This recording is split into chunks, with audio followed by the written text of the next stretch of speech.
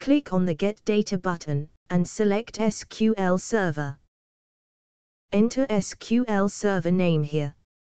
You can copy SQL Server name from SQL Server Management Studio. Enter SQL database name here. To display data in real time, always select DirectQuery. Click OK, and load the data into Power BI Desktop. Now, create a nice dashboard, turn on Page Refresh option, and set the refresh frequency to 1 second. You have created a real-time dashboard, which will always display the updated information in real time automatically.